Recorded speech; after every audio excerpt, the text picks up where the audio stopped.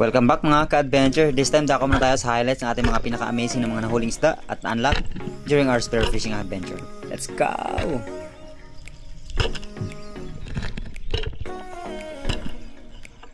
Sad to say na hindi ba natin nakip lahat lalong lalo na yung mga talagang rare na classifications ng mga isda na nahuli natin pero may na-save pa naman tayo.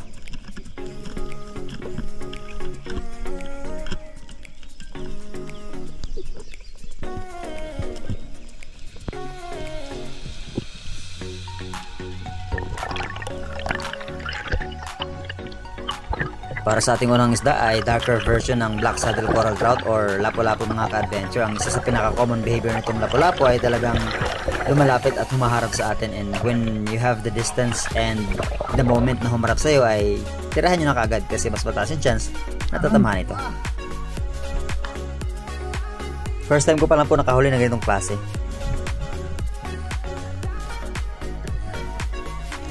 Ito namang sumunod ay pinaka-common na classifications ng talakitok na nahuhuli namin dito sa isla. Lalo na kapag ka nagdadayo kami, itong yellow spotted or yellowtail trevally or kawayanon kung tawag sa amin. Sa iba naman ay lison.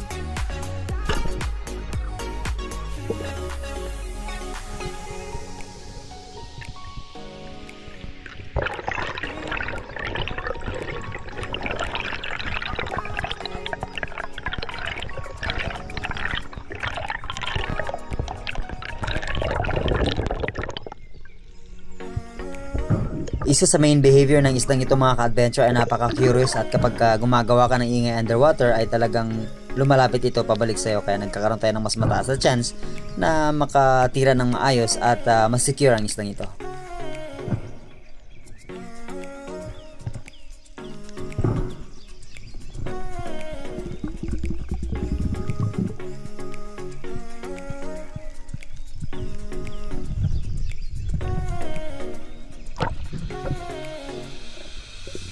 Para naman sa ating susunod na isda, itong classifications naman ng emperor fish na napaka-shy at uh, napaka-intelligent na classifications at uh, naiibang kulay sa lahat din ng klase ng mga emperor fish. Itong buffalo emperor.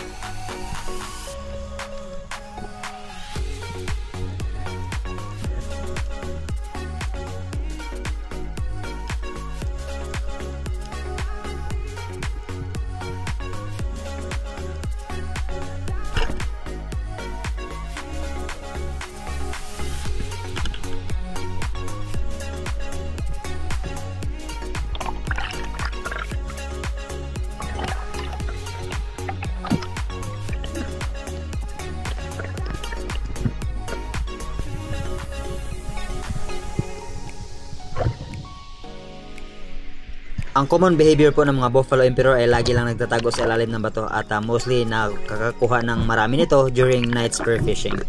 Pero depende rin sa spot.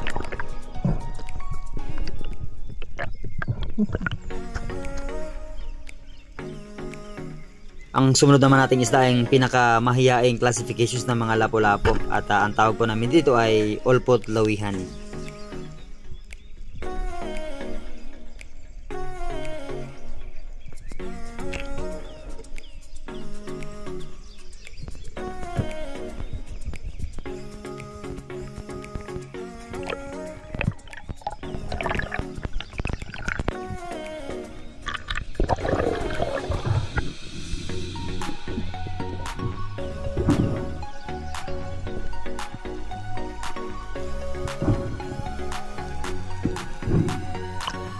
Common behavior po ng isdang to ay ina-observe ka niya at uh, mabilis po itong lumangoy at laging nagtatago at palipat-lipat ng pwesto kapag uh, chine-chase down mo ito.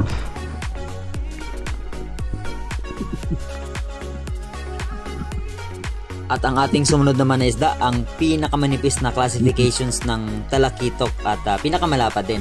Kumikinang ito palagi at may mga mahabang buhok sa ibaba at uh, sa itaas na bahagi ng kanyang katawan na ang tawag ay African Pampano or sa amin naman po ay urok at sa iba naman ay salamin-salamin.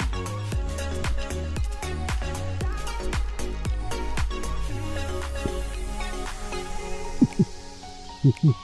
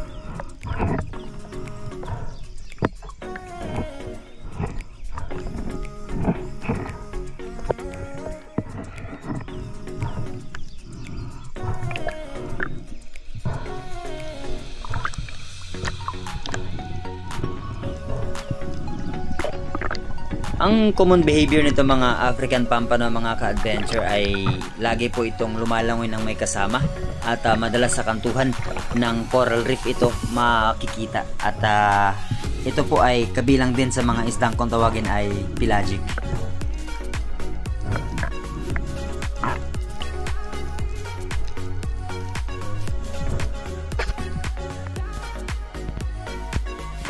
Itong atin namang sumunod na isda ang isa sa pinaka-tempting at pinaka-delikado kapag ka hindi natin masyadong na-observe yung ating pong lalim dahil ang behavior po ng ang susunod na isdang ito ay haharap sa'yo at lalayo at pag nilapitan mo lalayo and then lalapit ulit at hindi mo napapansin na lumalalim ka na pala ng lumalalim. Pero the best time to shoot ay kapag ka nakaharap po at ang ating sumunod na isda ay malaguno or green jobfish naman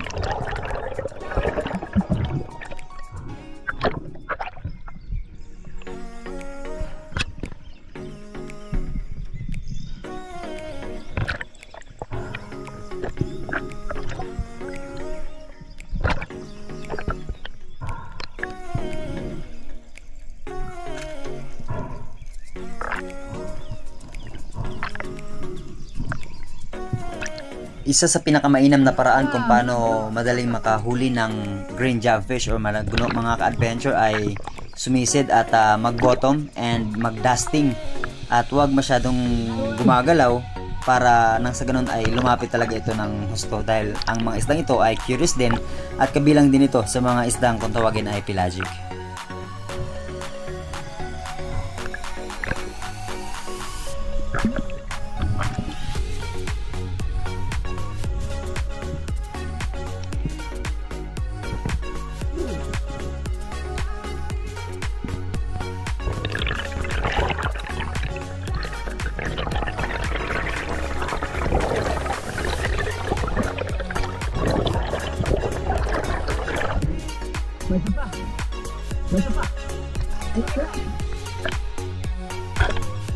At ang ating sumunod na mga isda, ang isa sa mga pinaka-powerful na classifications naman ng Trevally mga ka-adventure at ang pinakamalaki sa lahat na kung tawagin ay Giant Trevally or Mamsa. Napakarami na pong mga senaryo na may binawian ng buhay dahil po accidentally na accidentally pong napulupot ang tali sa kamay ng Spiro kaya nadrag po siya pababa at uh, hindi na nakaahon. Kaya be mindful po kapag katitira tayo sa isdang ito lalo na kapag sobrang laki dapat ang mga tali natin ay malayo talaga sa ating katawan. And make sure na mayroon tayong kutsilyo para in case of emergency mas madali nating makat yung line para sa ating kaligtasan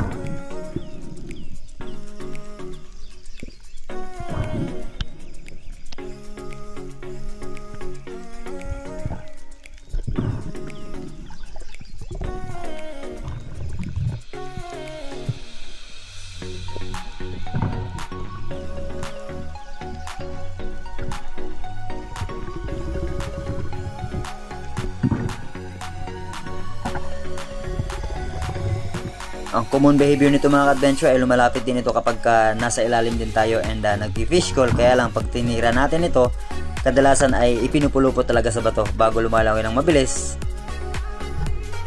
Oh.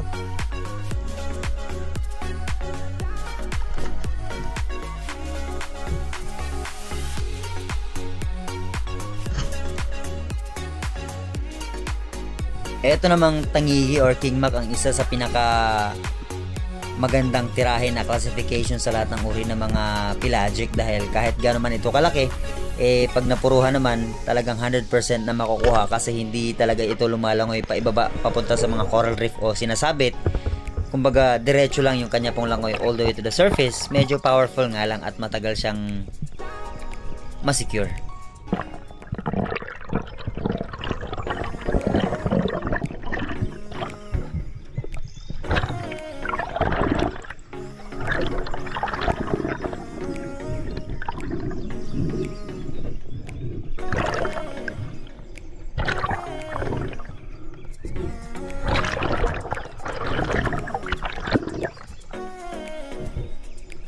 Yes!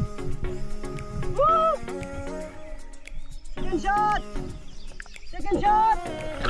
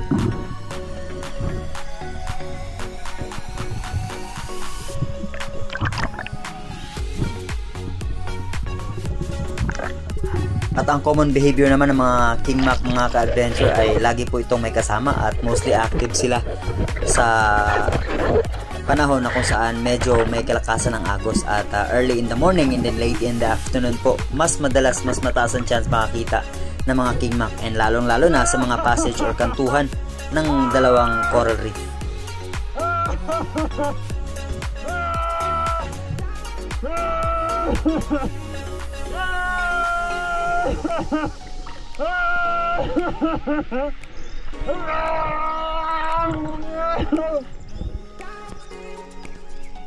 Ito naman ang pinaka-rare na makita sa mababaw mga ka-adventure yung klase ng lapu-lapu na black saddle na uh, yellow, black and white na kulay dahil po mas marami ito sa mas malalim na area. At uh, ganun din ang common behavior nito na kapag uh, nakakita ito ng tao ay humaharap lalo na kapag malaki dahil ito pong klase po ng mga isda ay territorial naman kung tawagin.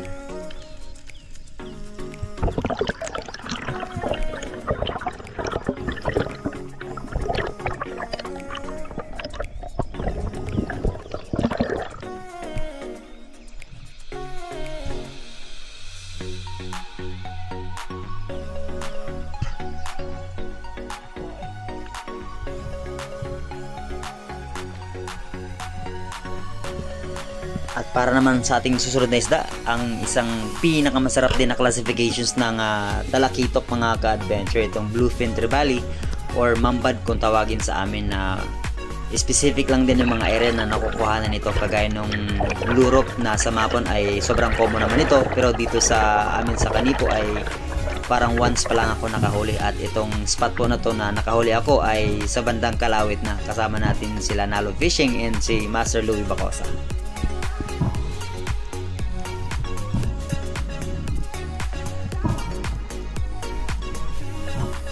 And halos pare-pareho lang yung common behavior ng mga talakitok mga ka-adventure. Napaka-curious at kapag ka nag-create ka ng sound underwater, eh mostly talaga lumalapit sila.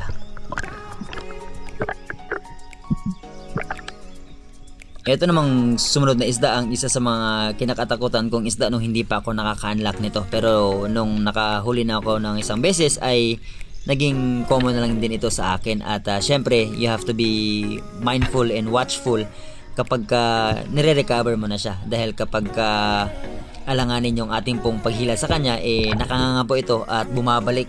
Kumbaga parang nangaatake. Barakuda naman or rumpe ang sumunod nating isda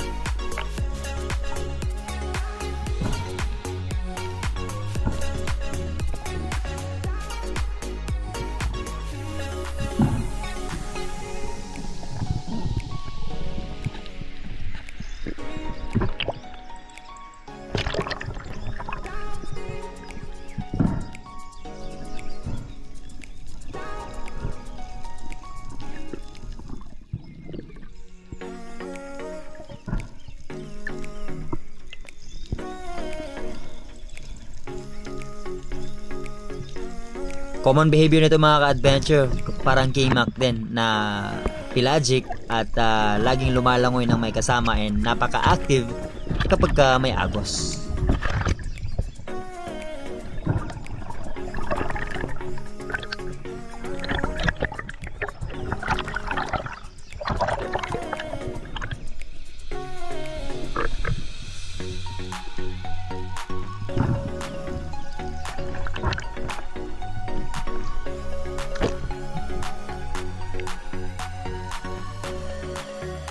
Maliban sa Buffalo Emperor, itong Big Eye Emperor ang isa rin sa mga pinaka-intelligent na classifications ng mga Emperor fish. Pero minsan ay nagkakaroon din sila ng mga blind spot. At uh, mas mataas yung accuracy na makakahuli ka nito or tatama ka nito kapag ka nagbo-bottom pero syempre advisable lang yun doon sa mga mga mamaw na master natin na napakatagal ng bottom time or breath hold para mag-hunt underwater.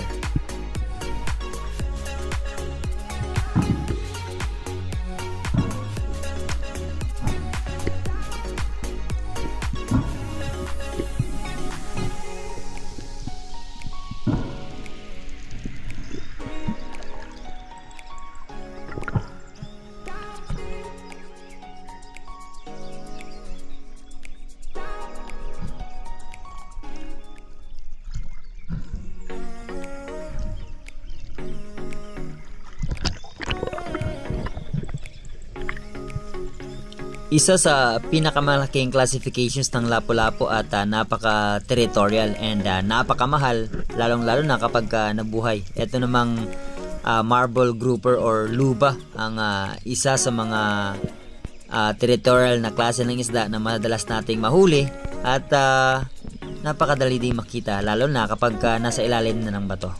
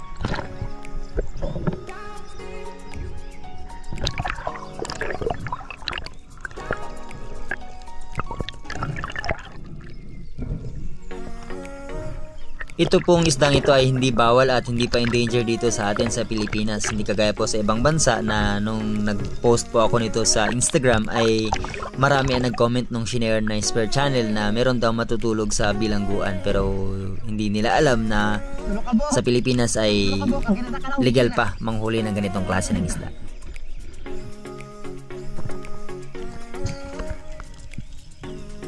Ito namang sumunod na isda ang classifications ng pelagic na naglagay sa akin sa peligro way back nung uh, namana ako sa barko.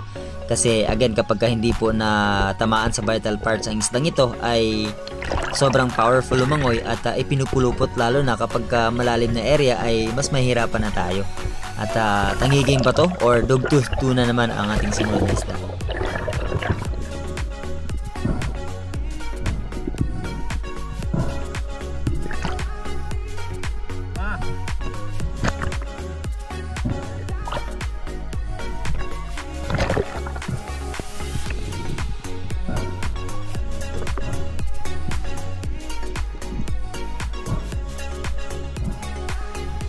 Common behavior mga ka-adventure, syempre napaka-active kapag ka, kapag ka may agos and napaka-tempting kasi kapag ka nilalapitan mo ay lumalayo at uh, bumabalik ng kusa. At para naman sa ating panghuling isda ay uh, ang pinakamalaking nakuha ko na cobia. Pangalawang beses pa lang ako nakahuli nito mga ka-adventure at ako sa malayo kung titigan mo ay pating and uh, Hindi pala, pero napaka-powerful din ang classifications ng isdang, ito at mostly nakikita sa mga malalalim at uh, laging nakabuntot sa mga malalaking isda.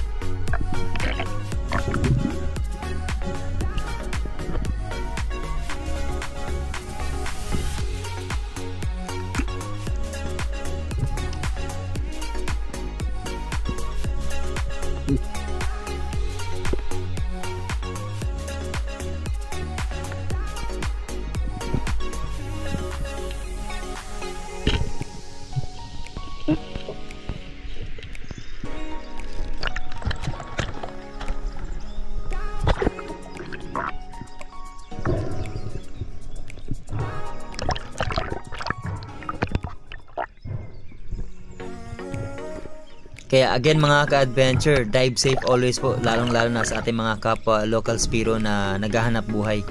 At uh, be mindful sa lahat ng ating ginagawa at isipin natin ang ating pamilya every time na mamamana tayo. Don't forget, no fish worth our life. Thank you so much for watching and always dive safe. May the Lord God bless us all. To God be the glory and thank you for watching.